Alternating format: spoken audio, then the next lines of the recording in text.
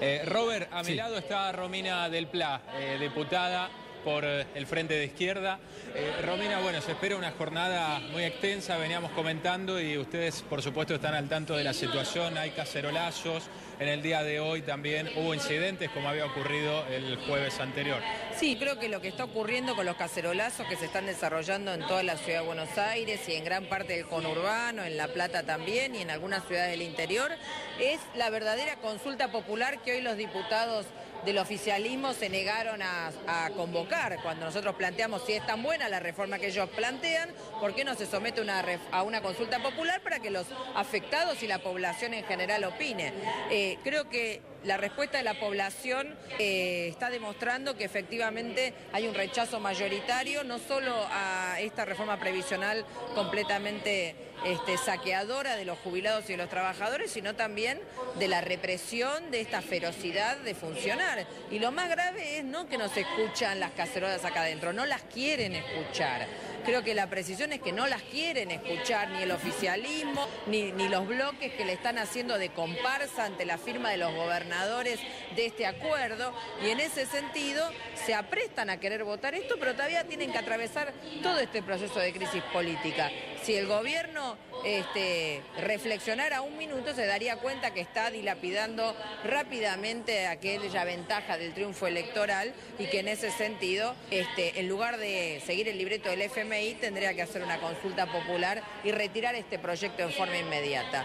En este punto quiero decir que la movilización de hoy, las decenas de miles de personas, esta respuesta a la noche, esta cuestión de que mañana están continuando el paro enorme cantidad de gremios, este, no solo el paro de la Secretaría que sigue hasta las 12, sino sindicatos docentes, seccionales, seccionales de estatales y demás, ya están convocando al paro de todo el día mañana por la libertad de los 85 detenidos en repudio a la represión y a esta reforma. Por lo tanto, vamos a una nueva jornada de enorme expresión de los trabajadores y nosotros del Frente de Izquierda llamamos a que se hagan asambleas en los lugares de trabajo y a que se lleven adelante las medidas de fuerza y de movilización necesarias para demostrar que aquí hay una verdadera rebelión popular, nada más y nada menos que llegando al 19 de diciembre y al 20 y en este sentido tenemos que expresar que no pasa, no debe pasar la reforma previsional, pero tampoco debe pasar la reforma laboral. Diputada, con tanta gente en la calle, un debate de, muchas horas, ¿se puede estimar un, un horario de votación? Ah, eh, salvo que haya antes algún cuarto intermedio o alguna otra cuestión. Mira, es un poco complejo. Ahora dicen que hay unos 50 anotados para el debate después de los, de los presidentes de bloque. Hay que ver realmente si esa lista ah, eh, se estira, se mantiene o se achica. También creo que va al ritmo de la propia crisis este, y en ese sentido me parece que están estimando madrugada de hoy, eh, pero bueno, hay que ver esos tiempos. Por lo tanto, me parece que es importante que sigamos manifestándonos, que sigamos este, expresando el repudio y que minuto a minuto se van sumando nuevos elementos, ¿no? Está del otro lado Roberto Funes. Robert, Romina del Pla, la diputada, te escucha. Romina, buenas noches, ¿qué tal? A ver, decir buenas noches sería, sería realmente algo, creo que no, no justo con lo que estamos viviendo los argentinos, todo lo que sucede en las afueras del Congreso. Usted bien lo decía, ¿no? Allí dentro no, no se oye ni los cacerolazos. Preguntarle durante el día de hoy si sí se escucharon los bueno, los proyectiles de balas de goma, los proyectiles de, concreto, de cemento también, que se fueron allí rompiendo en diferentes puntos de la Plaza de los dos Congresos. ¿No? Un escenario muy triste para la Argentina durante el día de hoy, Romina.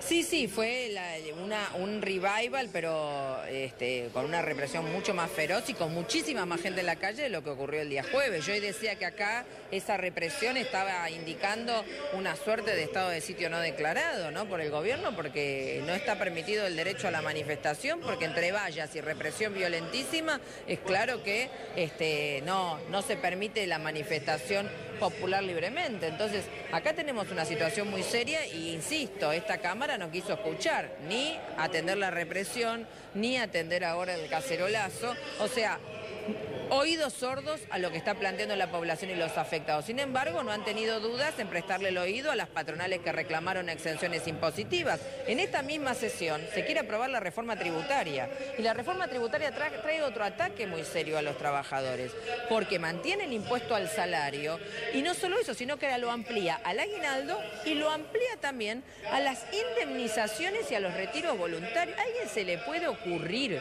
que una indemnización por despido es una cifra, un monto que puede ser afectado o considerado como ganancia.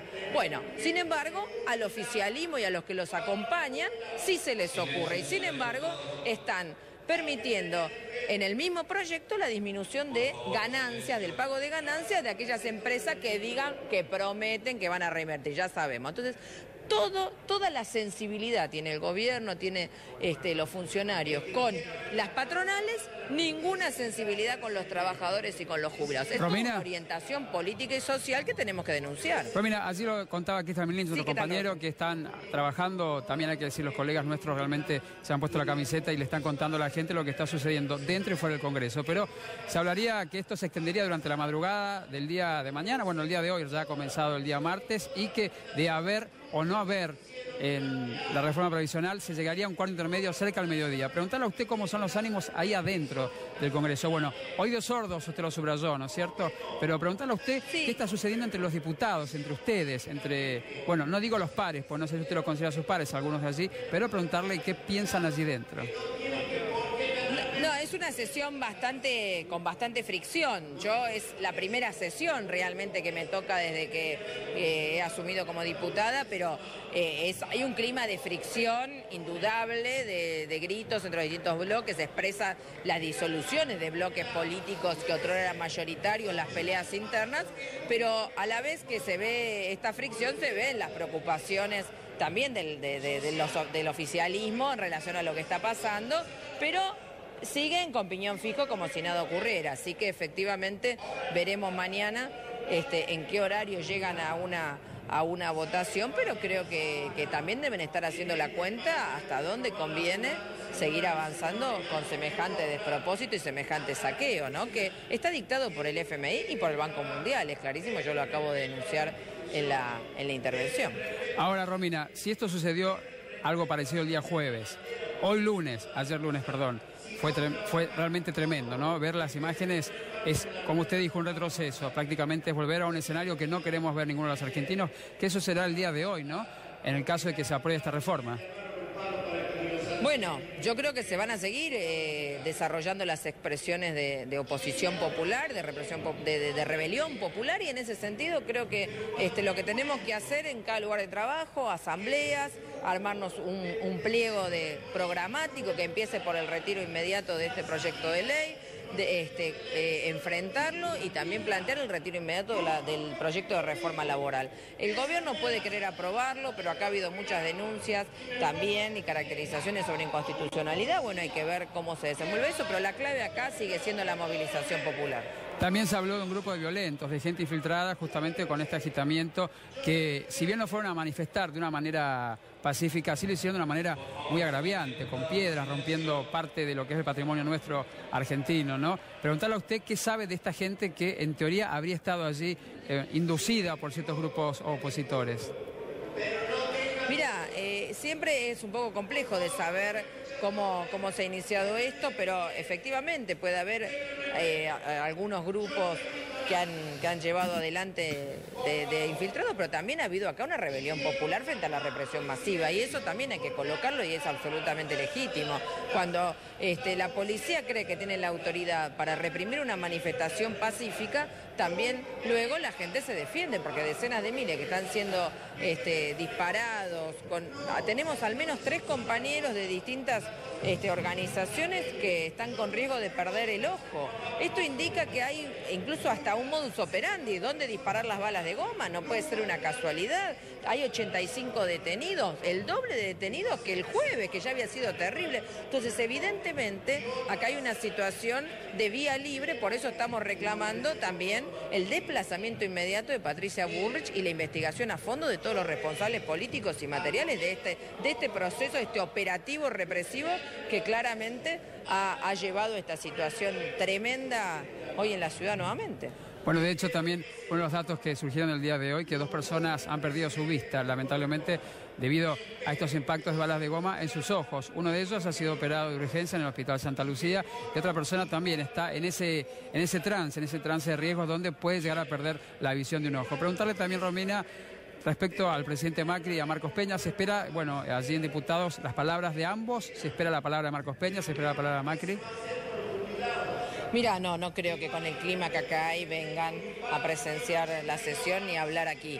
Este, lo que creo que para, lo cual, lo que tendría que hablar el presidente es para retirar de inmediato este proyecto, porque realmente sigue siendo este, una provocación a la población porque es un verdadero saqueo. Esto es lo que, lo que tendrán que estar planteando de movida. Muy bien, allí Romina Pla junto a Kifan Minich, sesionando, gracias, eh, muy amable. Esperemos tener noticias durante la madrugada, como usted lo dijo. Van a estar durante todas estas horas trabajando allí. De no llegar a un acuerdo, llegarían a un cuarto intermedio cerca del mediodía, pero bueno, se espera durante las horas próximas alguna noticia. Y evidentemente, lo dijo usted, Romina, las manifestaciones también van a ser escuchadas. Gracias, Romina. ¿eh? Gracias a ustedes, buenas noches.